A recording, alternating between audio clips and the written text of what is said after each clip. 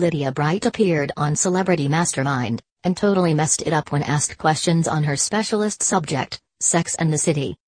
The Essex girl was known for her love of fashion when she was on The Only Way is Essex, so it seems fitting that she'd want to answer questions on Celebrity Mastermind about the most stylish show, only, er, ever. But Lyd seemed perplexed when asked questions that might seem quite easy to SATC fans. When asked which character was the only one to appear in both the pilot episode, aside from the four main characters, Carrie, Samantha, Miranda and Charlotte, Lydia replied, Skipper? Denise Van Outen and Lydia Bright are trekking the Himalayas in search of the Dalai Lama in holy adventure. The correct answer was Chris Noth's Mr. Big. She also stated that Steve's job was a bar attender, rather than a bartender.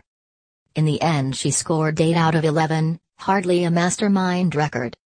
And in the general knowledge round Lydia also amused viewers with some rather surprising answers, too.